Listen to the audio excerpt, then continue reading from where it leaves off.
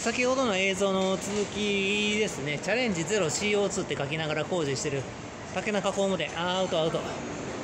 何回言われてもわからん人たち、えー、以前工事やめたでしょ。その時と同じ人たちですかね。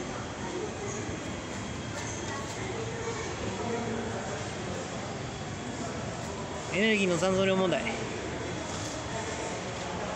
それで以前工事させなかったのに、もうこんなとこ歩いてどこの駅もすぐ近くですよ、本当に。で、少子化のひどさってものすごくひどくて、あのー、人口1億2000万人の話って、あれ、僕は小学生の頃から数字変わってないんですよ。で、あれ、もともと何の数字かって言ったら、まえー、満州国と朝鮮半島と台湾を併合していた時の人口で、それも後から戸籍謄本が登ってきて、えー、死亡届とか、そういうのに、えー、嘘の人口表記のまま、地方交付税法とかに頼り切って、えー、地方の公務員が、えー、金持ちになろうとしていた。これが実態。もうバレた後もう今は違うから。それで人材派遣会社の人間とかに変えてる変えてるだけ。でデフォルトするかっていうと違います。円安になるだけ。考え方あ間違ってる、えー、エネルギーの残存量問題の方が上だからこんな工事してる余裕があるんだったら被災地行って建物解体してあげてホームページは YKS の履歴の、えー、この動画の、えー、説明欄のところからアクセスできるようにしておきますから、えー、石川県能登半島の、えー、穴水町と、えー、奈良市の、えー、撮影したところを見てもらって、えー、現状を理解してください、えー、余計な工事が多すぎる。本当に。これはもう公務員の人たち誰も確保してもらわなきませんよ。以前僕は工事終わらせたのこれどういうことなの？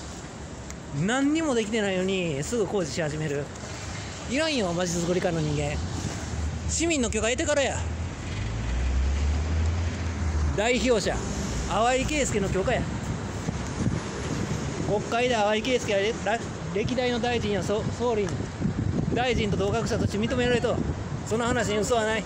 そこで嘘言ったら大変なことになる。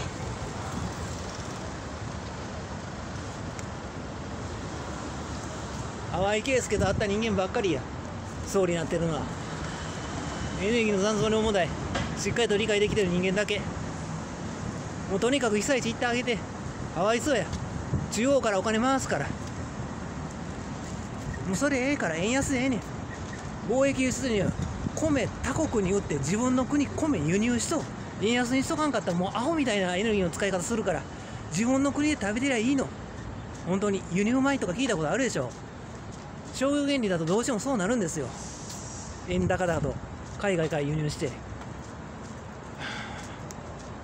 でもうトヨタとかも自動車の生産あの本当に終わらせますから今今ねもう生まれてきてる人の数本当に今の国境内本当に数少ないんですよだいぶ前にね男性と女性10万人下回ってた気がするんですよでこの間そこまで行って委員会で、えー、知事もしくは大臣を経験していた人にね確か見たことありますよねって聞いたら、ああ、そうやわ、なんですよ。もうみんなこの感覚。だからあのー、満州国と朝鮮半島と台湾を併合していた時のあの変な人口。で、しかもあのー、今日本の国境内では人口って4000万人いるかどうかなんですよ。甲子園の出場校見たら分かる。3800校ない。エントリーしてくる高校が。高校自体がだって4800あるかどうかだもん。ね、じゃあ、えー、仮に4000万人だったとして100歳まで人間生きることはありません。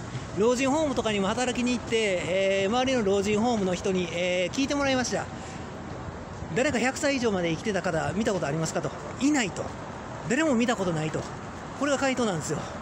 っていうことは一つの年齢層を、まあ、下の方が少子化で、まあ、あのある程度のところを考えたとしても 1, 1歳の層が40万人だったとしても高校生1年生から3年生で100万人いるかどうか。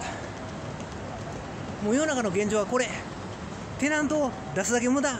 ずっと合併これから先も。昔からそう。それが1990年のバブル崩壊の頃から。経営者ほど頭悪いにおらへん。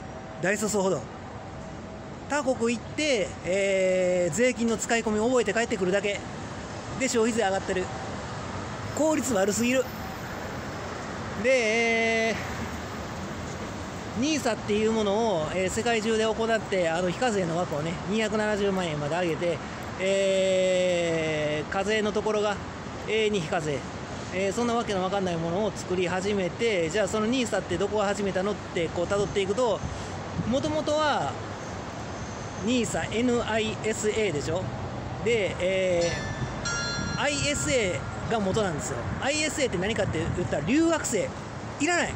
みんな自分の国の面倒すら見れてない。どこの国も同じ。自分の国の面倒すら見れてないの。分かってないの。自分の国のこと。どこの国も人口表記間違えてるから。3分の1か4分の1中国でも5億人多分いない。これは本当。だって満州国かなり広いもん。北京の近くだよ。そこの人口を組み込んでその人口よ。ちょえっ、ー、とね台湾はね九州と同じ面積。九州は500万人多分いない。行政の発表してるあの表記も全部でたらめだから。地方交付税を見たことあります？ちゃんと六法全書で。老人とか人数いたらたくさんお金入ってくるんですよ。家の件数知ってるから。前輪の地図とか見たら分かるし僕は別の仕事で、えー、家の件数見て回ってるから。どこどこな？何々台とかそういうふうな町名のところで家が何軒建ってるか知ってるから。ないの。件数が。例えば兵庫県の三田市。行政の発表している人口見たら分かります。10万人超えてますけども実際は家が1万軒しかない。で空き家があって、えー、大阪の方とか例えば、えー、この辺り、えー、発展している三宮。一応表記されている人口で、え、24の県よりも神戸市の方が人数多いんです。例えば沖縄県よりも神戸市民の方が人数多い。沖縄も1回行ってみたことありましたけどやっぱり家少ない。表記してる人口の3分の1か4分の1もうどこも同じ。であと議員さんがやたらと高額所得者になって家2軒買ったりしてるからもう話めちゃくちゃ秒差入ってるところのその前輪の地図とかで、えー、世帯数かける2だったんじゃないかと人口。昔はそういう話やったんですよ。一人暮らしの人もいらっしゃいますし。だけどもこれかける1.5やぞと。もうこれはもう実際のところですよ。もう今空き家だらけ新しく建築業界がビル身勝手に建ててますけども。本当に。もう僕の他の動画で見たら分かります。もうあの辺のところからもうほとんど空き家だから。あの辺りとかも。ああいう風な高層ビルのところとか、えー、たくさんビル作ってるけどもずっと人口を縮小してるのに建物小さくなっていかないとおかしい。大きくなってるんだもん。これが行政の実態。建築屋に仕事回し票集め。横領罪。三振と以内の請求。もうこれ以上悪い、えー、公共工事させんようにしてなあかん。世界中で。あと株の件も同じや。あのも富裕層しか買え一月年金15万円までたどり着けるのは男性で50%女性で3割。っていうことは NISA なんか買う人間株なんか買う人間富裕層だけや。つまり議員たちが金持ち同士の人間同士が大企業の役員とかがさらに金持ちになりたくて、えー、株非課税にして、えー、税金の使い込みを覚えてきた。これは留学生の正体。